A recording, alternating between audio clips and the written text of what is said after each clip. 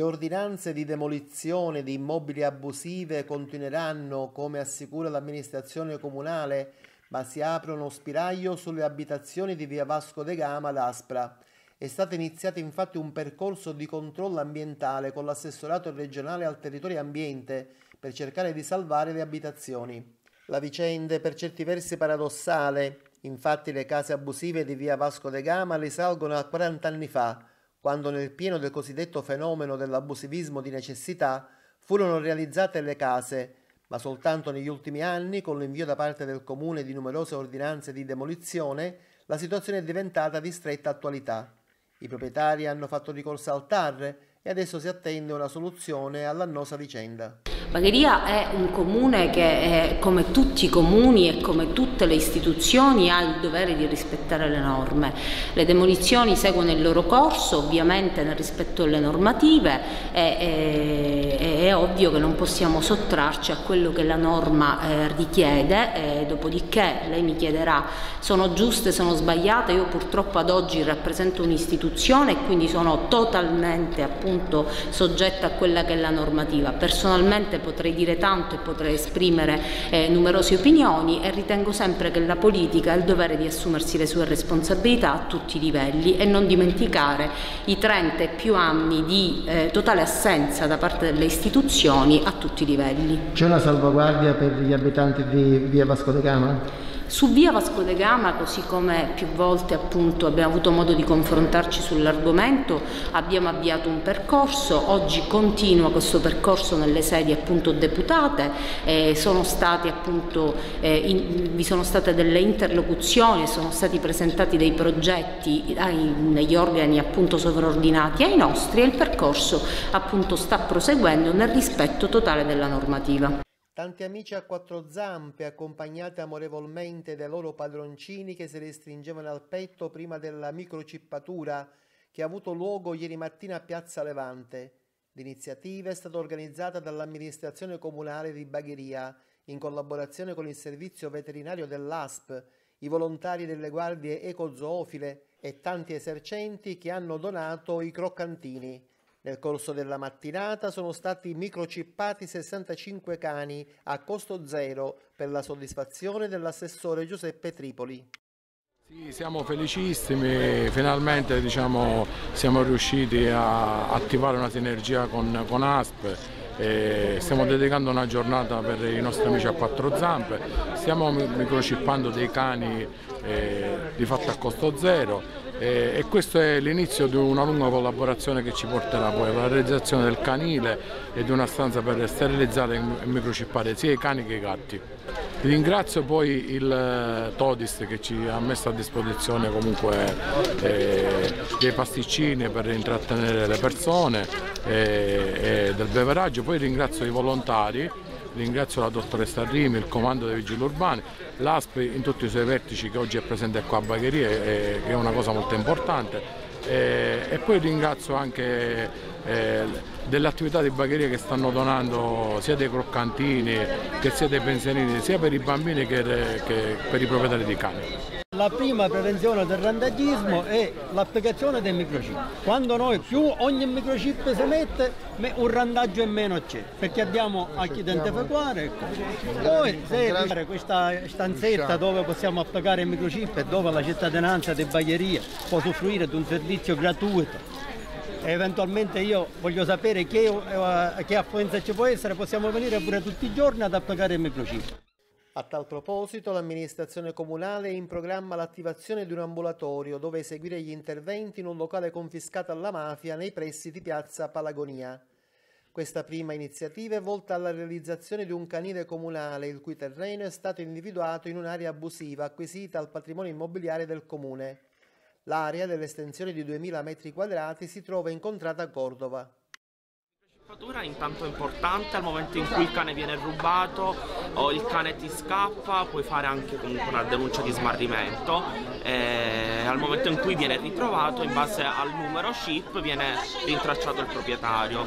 Quindi diciamo che salviamo anche il nostro cane di proprietà al momento in cui scappa o viene rubato.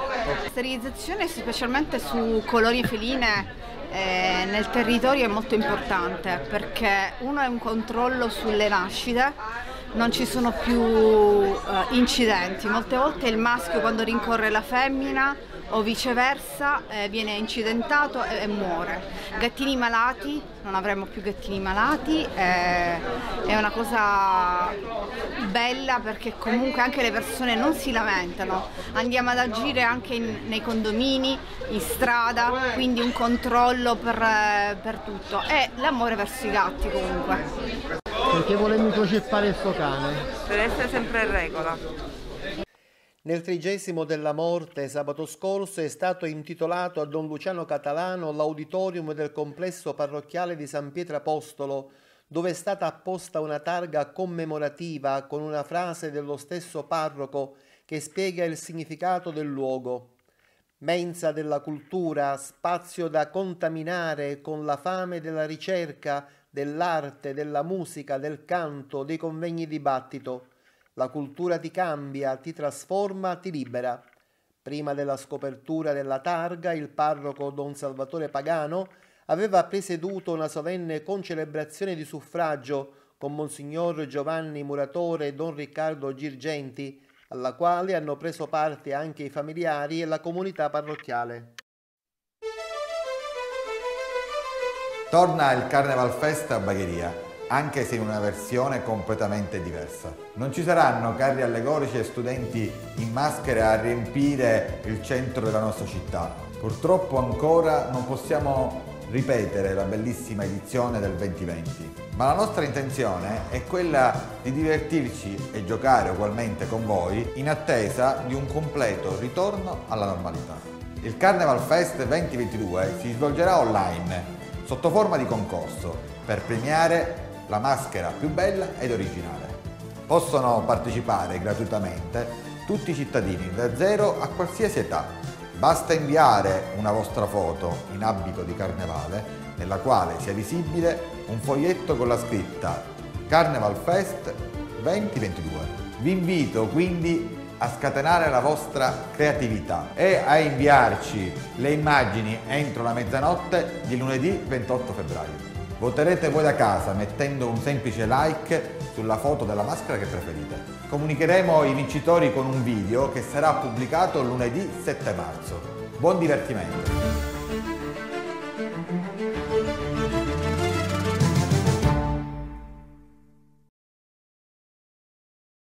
Un finanziamento che ammonta a 6 milioni e 52 mila euro è stato richiesto dall'amministrazione comunale per interventi finanziabili dal PNRR per riqualificare la scuola elementare Mariano Cefalù di Santa Flavia, chiusa con una ordinanza sindacale a causa di problemi di staticità dell'immobile nel mese di giugno del 2020. Il bando nazionale è previsto nell'ambito degli interventi di demolizione e ricostruzione di edifici scolastici. Il Comune intende realizzare tre sezioni per un numero complessivo di 15 classi e una palestra di 330 metri quadrati. Se il progetto sarà finanziato, sia pure dopo un lungo periodo di sacrifici, ci sarà la possibilità di realizzare un nuovo edificio scolastico degno di questo nome. Iniziato il percorso per l'istituzione dell'area marina protetta di Capo Zafferano. In proposito il Centro Studi per lo Sviluppo Territoriale ha invitato i comuni di Bagheria e Santa Flavia, la città metropolitana di Palermo, il Dipartimento delle Scienze del Mare dell'Università di Palermo, il Consorzio Interuniversitario per le Scienze del Mare, il Galle Metropoli Est, il GAC, Golfo di Termini Merese, il GOGEPA, le associazioni ambientaliste e quelle del territorio a sottoscrivere il protocollo d'intesa per chiedere al Parlamento il riconoscimento del SIC Fondali di Capo Zafferano area di reperimento, primo passo per l'istituzione di un'area marina protetta. Entro il prossimo mese di marzo la consegna del documento alla Presidente della Commissione Ambiente, l'onorevole Alessia Rotta. Aperto al traffico il nuovo svincolo di connessione tra l'autostrada 19 Palermo-Catania e la nuova sede della statale 640 sulla strada degli scrittori per un importo complessivo di 8 milioni e 250 mila euro, oltre il costo degli impianti tecnologici. Lo svincolo è del tipo a trombetta con quattro rampe che consentono l'uscita dall'autostrada ai veicoli provenienti da Catania e Palermo e l'immissione dei veicoli diretti verso le due città. Lo svincolo include anche una galleria artificiale di lunghezza pari a 150 metri a canne separate, una per senso di marcia che sorpassa la sede autostradale per consentire il collegamento con le rampe di svincolo presenti nella carreggiata a monte. L'apertura dello svincolo, oltre ad eliminare una forte penalizzazione del traffico autostradale determinata dalla presenza del cantiere durato oltre il previsto per lungaggini proprie del contraente generale, costituisce un altro importante passo avanti nel programma di completamento dell'opera commissariata.